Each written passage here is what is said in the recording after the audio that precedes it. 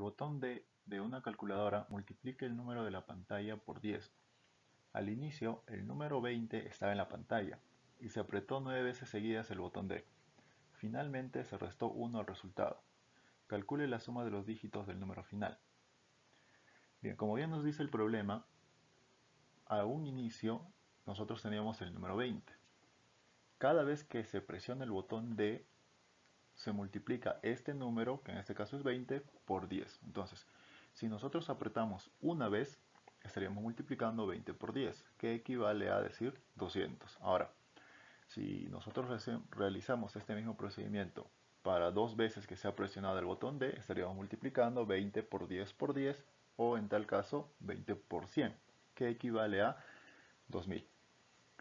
Luego, 20 por 1000 cuando multiplicamos por 3 veces y así sucesivamente hasta multiplicar 20 veces ese número, en este caso al presionar 20 veces el botón D, cuyo resultado va a ser todo el número que podemos ver.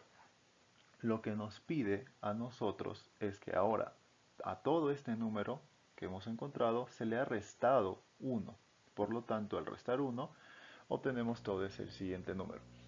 Lo que nos pide es calcular la suma de los dígitos del número final. En este caso sumar 1 más 9 más 9 más 9, que lo puedo representar como 1 más 9 por 10, que equivale a decir 91.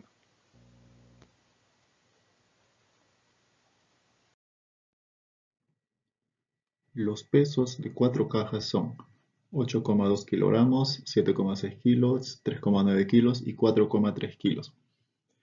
¿Cómo se modifica la media de estos pesos si cada valor es redondeado al número entero más cercano? Bien, tenemos eh, estas alternativas y lo primero que nosotros debemos hacer es calcular la media de esos cuatro valores sin redondear, esos valores decimales, para luego saber cuánto será su media con los valores ya redondeados al número entero más cercano. Entonces, como sabemos, la media se halla sumando todos los valores y dividiendo entre la cantidad total. Como son cuatro números que voy a sumar, lo tengo que dividir entre cuatro. De lo que podemos decir que al realizar estas operaciones, la media será 6. 6 kilogramos será su media de esos, de esos cuatro pesos. Ahora, si nosotros redondeamos esos valores al número entero más cercano y volvemos a sacarle la media, veremos qué es lo que pasa.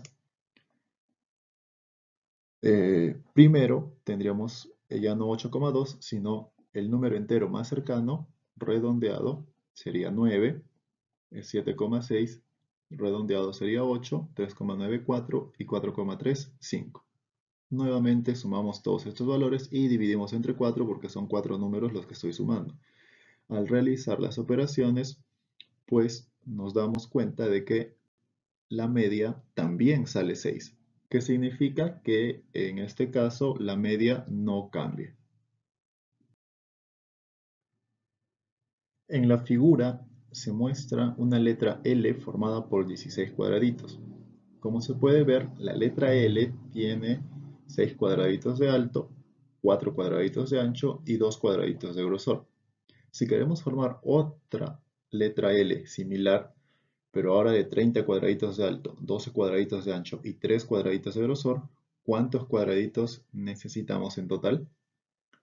Bien, en un primer momento tenemos que identificar cómo sería la figura con estas nuevas características que nos están presentando pues quedaría más o menos de la siguiente manera. 30 cuadraditos de alto, 12 cuadraditos de ancho y 3 cuadraditos de grosor. Lo que vamos a hacer aquí para poder sumar en total cuántos cuadraditos es, es separar esta figura, esta letra L, en dos regiones.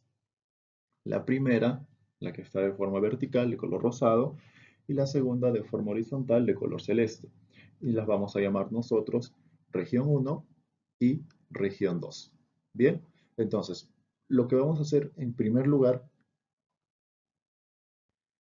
es hallar el cuadradito o la cantidad de cuadraditos de la región 1 y la región 2, porque eso representaría el total de cuadraditos, la suma de estas dos regiones.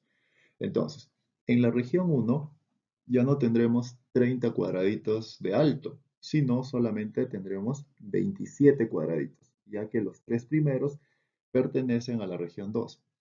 Tendremos entonces 27 cuadraditos de alto por 3 cuadraditos de ancho, que nosotros lo podemos representar como 27 por 3. Y para la región 2 será 12 cuadraditos de largo por 3 cuadraditos de ancho. Entonces, el total de cuadraditos será la resolución de estas dos operaciones, 81 más 36, es decir, 117 cuadraditos. Alternativa A.